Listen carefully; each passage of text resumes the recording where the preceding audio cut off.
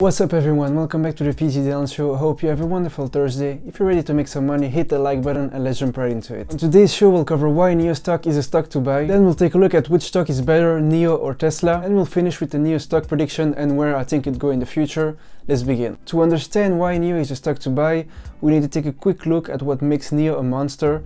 First, we have its revenue. NIO's financial position is stronger than ever in its previous quarter, the company reported a 146% increase in revenue. Investors expect this value to grow by 147% in its upcoming quarter. The company also holds a strong cash position after a series of funding runs earlier this year. NIO is set to report earnings on November 17, so keep your eyes peeled out for likely another increase in the stock price. A second fact that makes NIO a monster is its batteries. An important area of innovation for electric automakers across the world is batteries.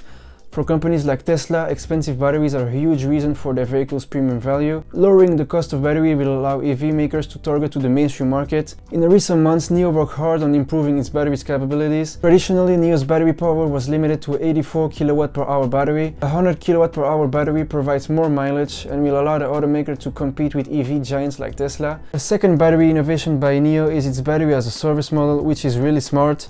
It's a subscription plan for batteries, so while Tesla has battery charging stations for its cars, NIO's plan is to let you change the battery. Customers can choose the number and type of batteries they want, and they can themselves swap the batteries. NIO has already built 158 swapping stations across the country and continues to expand this service. NIO's battery service plays perfectly into customers' needs. I think this will be a huge growth driver for NIO stock in the future. So NIO's impressive revenue and its innovative way of making batteries make sure that NIO will become a monster in the future. Let's take a look now if it's better to buy a Tesla stock or a NIO stock. On October 21, Tesla reported a year-over-year -year revenue increase of 39%, Meanwhile, NIO reported a 140% revenue increase. To see if it's better to buy a Tesla stock or a NIO stock, we'll take a look at a study that took place between investors, where 49.2% of respondents said that Tesla stock will grow the most by 2025. Quick reminder, Tesla trades at 410 per share, 52 weeks ago they were $65 per share. So NIO is the one that received the most support where 50.8% of investors said that NIO will be the stock that will grow the most in 2025. As a quick reminder, the stock reached a high of $46 per share a couple minutes ago and was at $1 a share 52 weeks ago. So which stock do you think will grow the most in the future? Will it be NIO? Will it be Tesla? Let's now finish today's show with where I think NIO is heading in the future. What makes me really confident in the NIO stock is that a lot of big investors are investing in NIO. For example, in September, the fund of Ray Dalio acquired NIO shares for more than $6 million. In general, the concentrations of large investment funds in NIO stocks is much higher than any other company.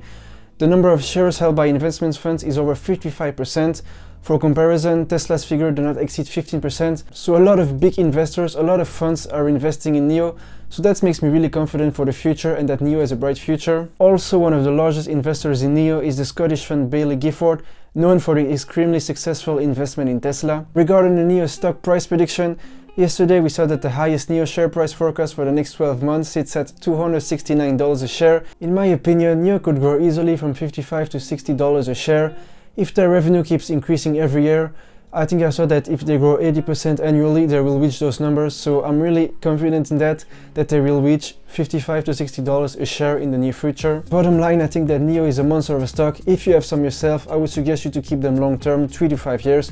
If you're planning on buying NIO, I would wait for a dip between $29 to $35. And an important date to remember is November 17th, where they will announce their financial reports which can be really interesting to see where they stand. I'm really excited to see the next couple of years of NIO and um, I can't wait to see China's EV market explode. I'm really excited. I hope you enjoyed today's show. If it helped you in any way, you can leave a like, you can subscribe for every day new episode and let's make some more money together.